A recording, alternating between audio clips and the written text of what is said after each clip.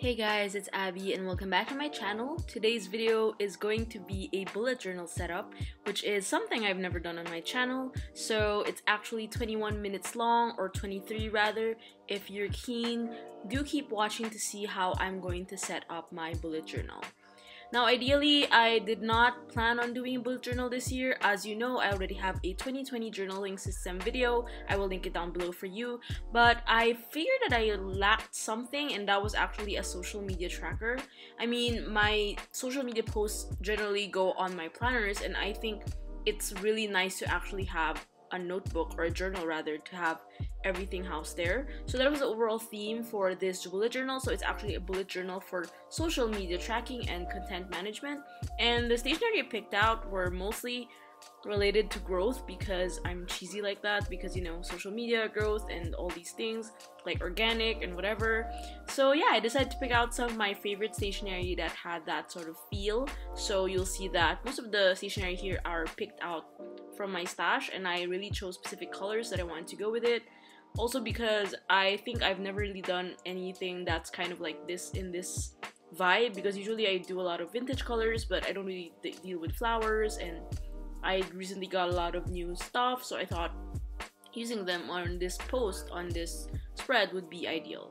So here I'm setting up the first page so the reason why I didn't really do bullet journals over the past few years is because I am very scared and I'm very prone to make mistakes. I'm also very messy as you can see here and I think my issue is really I'm very OC and my perfectionism can get the best of me and I don't know if that is actually doable because I've seen a lot of bullet journal videos and a lot of people have said that you don't have to make it perfect as long as it's nice but for me for example I can't do it when the line isn't straight I won't write in it and things like that. That's also why I precisely chose this Midori MD notebook which was in grid. I got this like a couple of months ago from Malaysia because I needed a notebook for like idea dumps, so I thought I'd put this one for it, but apparently I'm using it now for my bullet journal. I was contemplating on getting either a dotted one or a grid one because I have done bullet journaling, but I've never done a setup video. I did do bullet journaling during 2018. I had a Leuchtturm bullet journal, which I used up to the brim, but after that, I started to not use it anymore. So here is my bullet journal. Long story short, something um, was an error in the front page. That's why I had to re-edit some of the parts. But anyway, I covered it with that um, pattern washi in the middle, as you can see. So yeah, my theme is very organic. I wanted to incorporate a lot of greens, browns, and a bit of like old rose slash mauve pink because that's the color I'm really into right now. So as you can see, um, most of my handwriting is really, really small, and that's gonna be very consistent in the next few minutes. So first I'm starting with this index. Now since this journal is not really numbered, I personally don't feel the need to number it. Also because I don't really check it by numbers. I did buy a lot of index stickers, so I'm gonna definitely use those especially if I need some stuff that have importance and also I'm using the index stickers anyway for the monthly spreads. So here you'll have the journal overview of what you will see. I actually plotted it on my Hobonichi weeks for um, good measure because you know I tend to forget a lot of things. So yeah, I think the heavy one would be the monthly overview because I have a lot in store for every month, but generally the index is pretty straightforward like the usual bullet journal. I also picked out super simple symbols because I'm not very keen on making new ones and these have worked for me in the past couple of years that I've done bullet journaling. So this is me being fancy and adding a lot of stamps because I recently got these from Bungu Joshi and I love the theme. They're very like um, stationery related books and I really want to incorporate that because that's well part of what I do basically as a content creator and artist.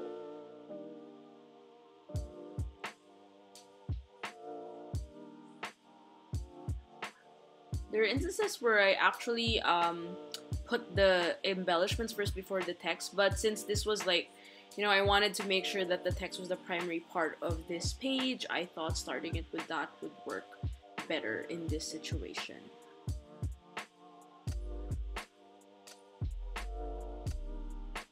So I'm adding more tape because I love adding tape.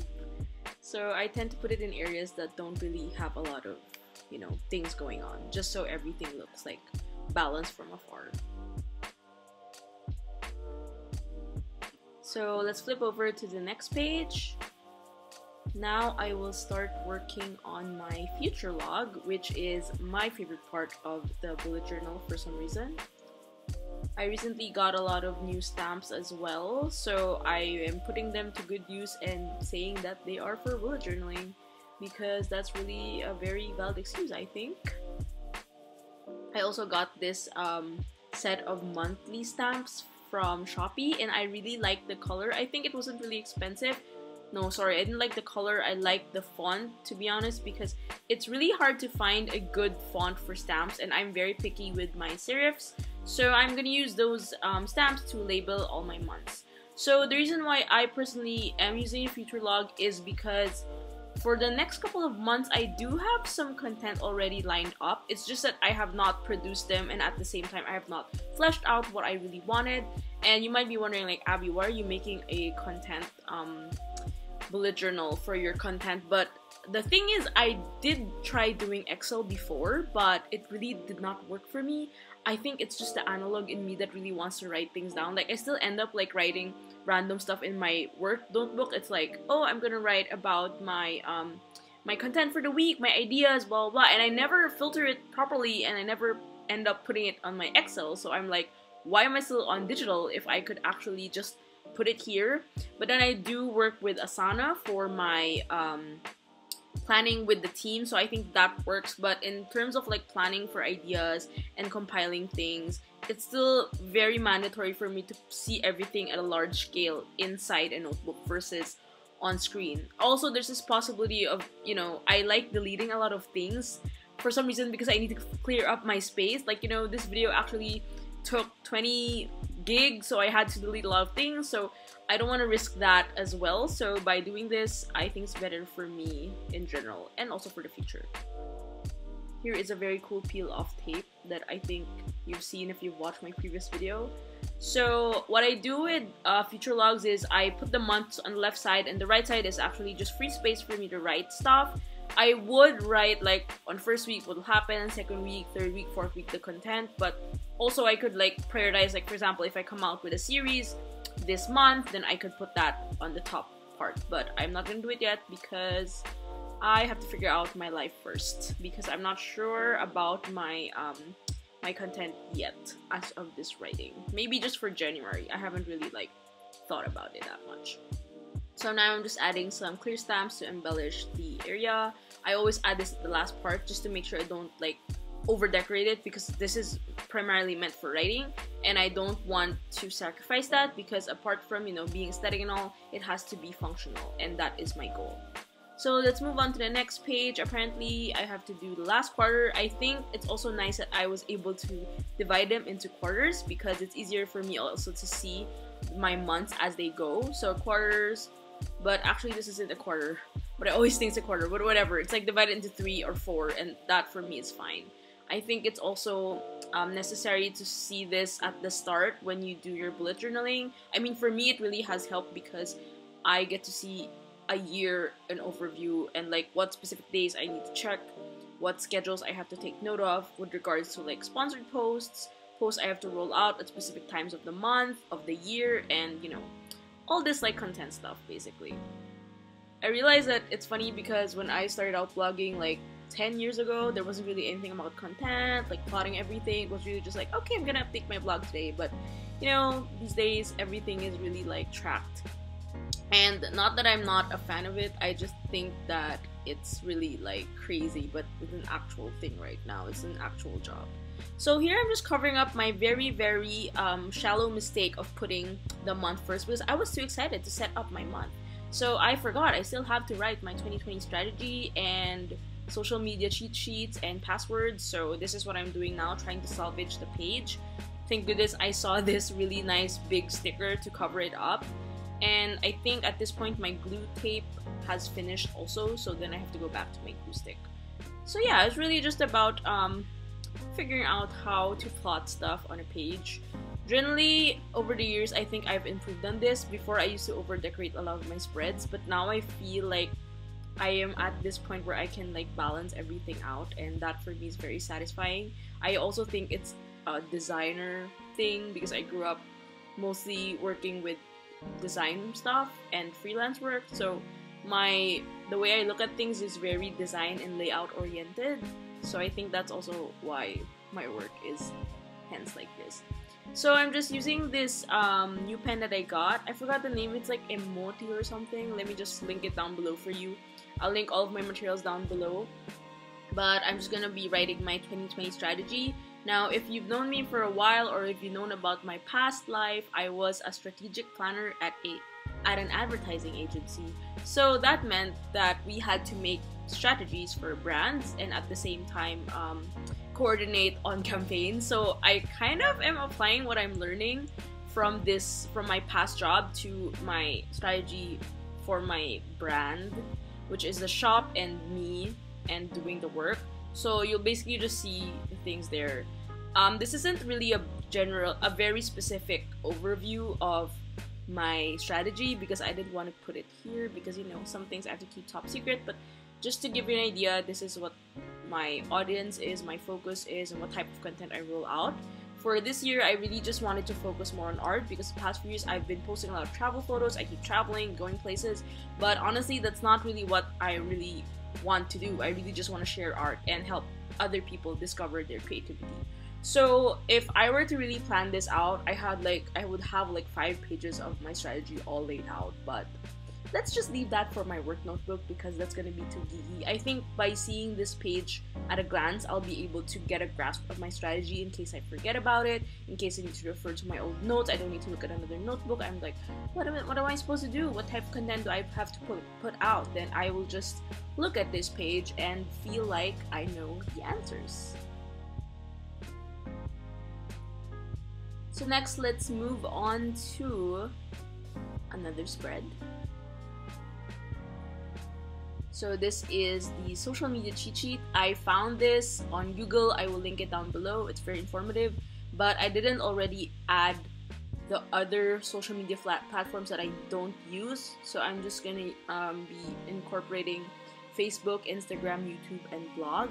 I always forget this and I always get like dumbed out when I figure out like stuff that I have to Photoshop or like photos I have to send, the quality of images, the crop and everything. Like I always what's in my head is like I need a landscape photo and a square photo because I usually use square for Instagram. So by having this cheat sheet, I feel like I I am in control of what I have to do in terms of sizing. So I also omitted the minimal part, minimum part, because I don't want it to be low quality. So I'm just gonna be writing down the optimal size, which is ideally the best size, and then maximum. So maximum, I'm not sure if my computer can take it, so let's just see how that goes. But you know, just keeping it there for reference is always a good idea. I won't be filming the opposite page because that is the passwords page. So now let's move on to the first quarter of the year. So this is my bad. I wrote January, February, March. It's supposed to be January to April. But anyway, I'm using the Yosogo alphabet set. I really love this set. I really love my serifs basically. And I love how it contrasts with the light blue grid of the Midori notebook. It's really, really great. So I'm just gonna add some stuff, you know, make it a little cute. Start the first quarter right. And I decided to put uh, first quarter page because I wanted my focus and my goals to be all laid out properly in one page, just so I know again what I'm going to do in the next couple of months. I think this is really necessary because when you look at things from a very macro perspective like a year it really makes you feel over well for me it makes me feel really overwhelmed and again, I have a lot of things lined up per quarter, so through this, I'll be able to streamline everything and make sure everything goes according to plan in coordination also with my other planners, my work planner, and my daily planner. So, yeah, that is going to be my focus for this year. As you can see, the journaling challenge, management, and the shop. And I'm planning to do a digital shop soon, so I have to work on that as well. It's going to be a lot of sit down work, drawing work, but it's going to be fine. So I'm using these uh, index from the Traveler's Factory that I got for this year. They came in a lot of colors, so I gave one to my sister and one I'm using, and then this is the other one that I'm using. The brown one, it fits perfectly with the theme of my bullet journal. So this is the actual January page, my friends. This is the actual January page that is for real now because the last time I was in a hurry. So yeah, I'm just adding these um, stamps. I got this from Papier Platz. I really love this design. I'm also using the Mildliner brush pens. I really, really love this dark brown color. And then I'm also using some craft cuts from Papa Maruti. Would you believe these only cost like, I think it's like 20 pesos, so it's really, really affordable. And again, I really like the organic feel of it. And I'm adding a bit more to sort of enhance things. So my top tip for things like these is like you see how everything's very square and like you know everything square rectangle. I try to add a lot of texture as well, like tickets or other elements, and try to like pose the pose everything in a very like imbalanced way. So when you look at things, it's like ooh, they kind of like blend, but also they don't. I don't know what am I actually explaining, but yeah. And then I added this divider to sort of like draw the eye from the left side to the right side because the right side is technically the most important part of the month, which is my content ideas log. So I decided to put this log because again, I have a lot of ideas and they're everywhere. They're on my phone notes, they're on my journals, they're on my planners, and basically I can't keep track of them anymore. So through this, I'm putting the working title, category, uh, call to action and notes, and etc. You'll see that some of the videos here have already been published actually, so I'm just gonna put them there for reference and just so I know that they've already been published because I think it's really important for me to see everything again. It's not just digitally but also in analog way. So I'm using these red pens to mark the uh, filmed ones and the published ones. And now let's move on to the next page, which is the YouTube tracker and blog and Instagram tracker.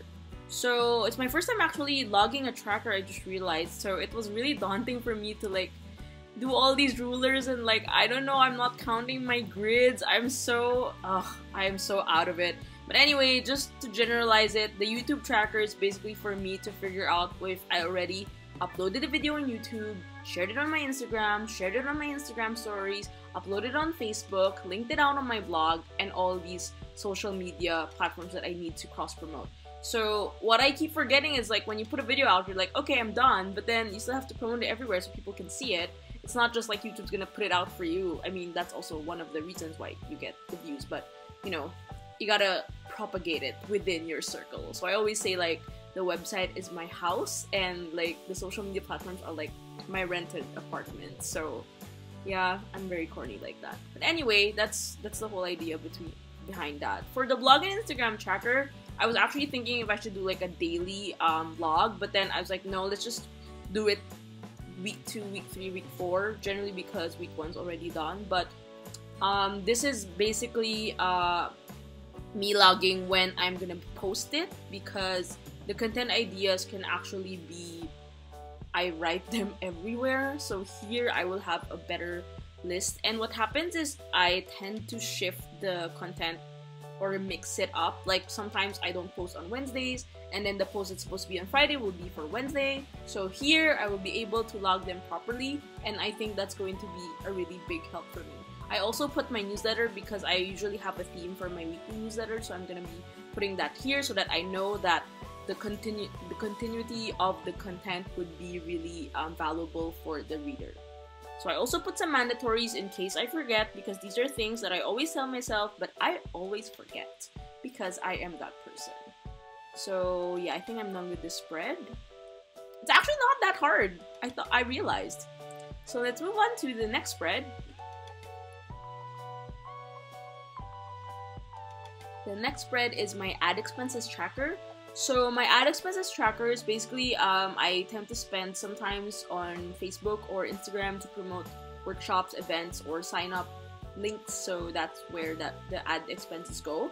But in recent months, I haven't really promoted anything. So um, yeah, I don't know why I'm gonna put that, but just in case, there are also some things that I have to pay for. For example, like if I want to upgrade my Instagram scheduling platform, which have not thought of upgrading yet, but um, our shop uses Later. Later.com is a really, really great platform for scheduling. Personally, I don't schedule my Instagram posts because I schedule, I plan it with Unum, but I don't schedule it so I don't have to pay for anything. I schedule, I just save it in drafts. So yeah, I'm just putting this um, list just in case I spend for anything. Then I have a grand total there at the bottom so I can compute everything and add them to my finances. So the miscellaneous ones, I don't know if I end up buying an app. Oh, I did buy Nichi, so I have to probably um, put it there. It was on sale for 50 off, so it's I think it was just like $9 for a year's supply of all these really nice um, collage things, and it's great for Instagram stories as well. So I am putting the Instagram Insights tracker because I am licensed under no the, sorry the account I got was the creator account I used creator profile I, I got the business profile profile before but I shifted to creator profile and anyway you get to see all the insights and stuff and I thought it would be nice to log them down because there's a lot of math involved but here I just want to see how my engagement is every few days because it really fluctuates. I remember when I was offline for a time, the the views were of course really low, but then it sort of like it's in peaks or in waves depending also if it's like a holiday or the content I post consistently is like differing. But since this year I'm trying out not posting a lot more about my travels but more about my art I want to be able to monitor it. I also put my shop because the shop I'm also trying to grow organically, not just in terms of the local market, but also internationally as I plan to um, do more international shipping in the coming months. So I think this is gonna be really helpful for me in the long run to see everything. Again, the real reason why I put out this bullet journal is really just to see everything from a macro perspective, but also be able to, you know, attest to my goals and see where they take me because there's nothing really like writing everything down.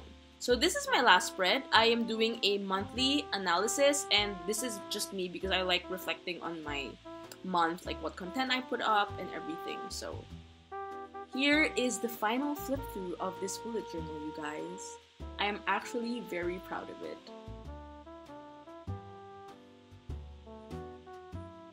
So this is the cover and then we have the index and key page this is the future log for January to August then you have September to December and then I put the postcard for like a breaker of some sort and then here we have the 2020 strategy for me and my shop here is the social media cheat sheet and the passwords, which of course I had to cover. And then I put an always be creating poster left side. First quarter goals and focus. We start with January and the content ideas. And then the YouTube tracker, blog and Instagram tracker, and mandatories ads expenses tracker, Instagram insights tracker, monthly analysis, and food page. So thanks for watching this video and I hope you like it. Make sure to comment down below your thoughts and I'll see you guys on my next one. Bye!